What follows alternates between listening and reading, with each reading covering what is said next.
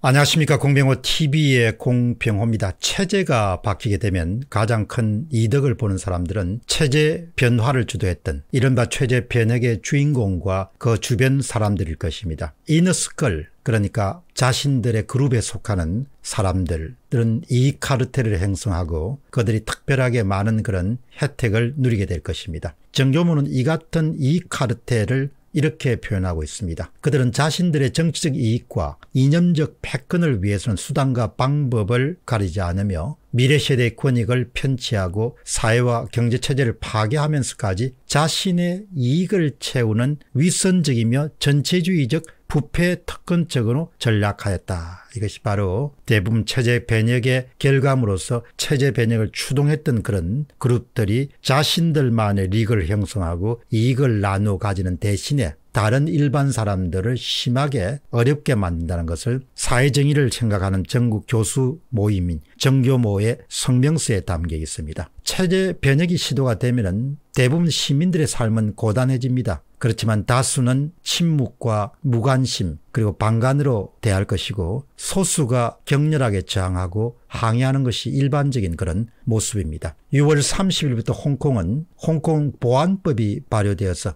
완전히 과거의 홍콩과 다른 홍콩으로 탈바꿈하고 있는 중입니다. 홍콩 사례는 한 나라에서 체제가 자유주의에서 전체주의로 탈바꿈할 때 어떤 일이 일어난지에 대해서 대단히 시사적이고 교훈적이기 때문에 살펴보도록 하겠습니다. 첫 번째 질문은 체제가 바뀌게 되면 홍콩 경찰이 현지 야당 성향 신문인 빈과일보의 창업주 지미라이 올해 72세입니다. 홍콩 국가안전법, 홍콩 보안법 위반 등의 혐의로서 체포했다고 홍콩의 신문인 사우스 차이나 모닝포스트 등 현지 언론들이 8월 10일 대대적으로 보도했습니다. 외신에 따르면 라이는 이날 오전 홍콩 경찰에 의해서 전격 체포됐습니다. 관계자들 따르면 라이를 체포한 경찰관들은 홍콩 보안법이 제정된 이후에 새로 생겨난 신설 조직 소속의 경찰관들이라고 합니다. 한 관계자는 신문에 라이는 외국과의 결탁, 선동적 발언, 사적 이익 추구를 위한 음모론 제기 등의 혐의로 구속됐다고 했습니다. 이것은 뭐 죄를 만들면 다 만들 수가 있는 것이죠. 라이의 체포는 지난 6월 30일 날 홍콩 보안법이 통과된 이후에 현지 언론에서 아마도 라이가 체포될 것이다. 그렇게 가져왔던 전망을 만족시키는 그런 조치였습니다. 그동안 라이는 2014년도 홍콩의 민주화 열풍을 불러일으킨 우산혁명에서 주도적인 역할을 한 것은 물론이고 아그네스 또 차우와 같은 그런 사람을 후원한 그런 인물들도 통합니다. 빈과일보 등 라이 소유 매체가 범죄인 인도 법안 등 친중파의 정책에 반대를 해왔기 때문에 그런 요주의 인물로 간주되어 왔습니다. 라이 체포 이전에도 홍콩 당국은 법안 통과된 이후에 16세부터 21세 학생 4명을 홍콩 보안법 위반 혐의로 이미 체포한 바가 있습니다. 라이는 1948년도 중국 광동성 출신으로 13세 때 홍콩으로 이주해서 성공한 자수 성가형 사업가입니다. 국내에서도 유명한 패션 브랜드인 지오다노 역시 라이가 창업한 회사입니다. 근데 지미 라이가 체포된 10일 날 야권 인사 10여 명 정도가 같은 혐의로 체포됐습니다. 이 가운데 조슈아 웡과 함께 우산혁명을 이끌었던 데모시스토당의 당원인 아그네스 차우도 포함됩니다. 차우의 페이스북에는 돌발 소식이란 제목으로 차우가 홍콩 보안법상 분열 선동 혐의로 경찰에 체포됐다는 사실이 확인됐다는 글이 올라와 있습니다. 경찰은 지난 8월 6일 날 발부된 수색 영장을 근거로 차우의 주거지도 수색한 것으로 알려집니다. 다음 질문은 우리가 알아야 할 일입니다.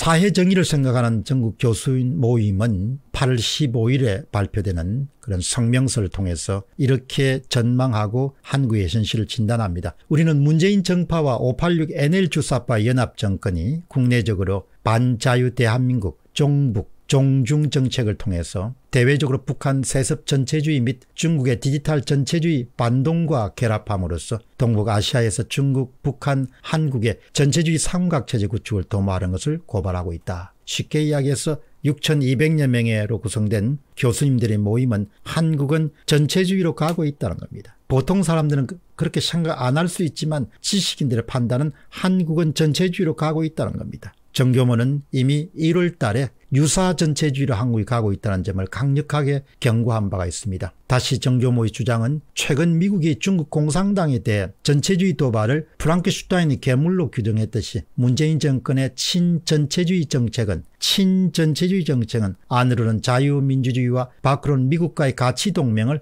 허물이는 역사적 범죄임을 경고한다. 문재인 정부와 완전히 거꾸로 가고 있다는 겁니다. 그게 판단입니다. 교수님들이. 호혜적 주권, 보편적 인권, 자유시장을 재정비한 21세기 신문명 국가들은 디지털 전체주의 중국의 패권적 도발을 물리칠 것이며 우리 또한 결코 반동적인 친전체주의 행로로서 반문명적 야만과 암흑의 노예 사회로 전락할 수는 없다. 이게 아주 중요한 겁니다. 문재인 정부의 노선이 친전체주의 행보인 겁니다. 친전체주의 행로로 가, 고 있는 겁니다. 그것은 반문명적이고 노예의 길로 가고 있는 것을 뜻합니다. 더 많은 국민들이 자유 홍콩의 몰락을 보면서 체제 변혁, 반문명의 길을 강요하기 위한 체제 변형에 더욱 깊은 관심을 가져야 될 것입니다. 이와 같은 돌발 사태가 터지게 되면 개인들은 세 가지 선택 앞에 서게 됩니다. 하나는 저항할 것인가 하나는 침묵할 것인가 아니면 은 그 나라를 떠날 것인가라는 그런 선택 앞에 서게 됩니다. 일부 사람들은 나라를 떠나게 되고 일부 사람들은 강력하게 저항하고 다수는 입을 다물게 됩니다. 그럼에도 불구하고 그런 체제가 완성되는 것을 막아야 하고 그것을 가능하게 하는 처음이자 마지막은 모두 다4.15 부정선거의 시시비비를 낱낱이 가리는 것에서부터 시작돼야 됩니다.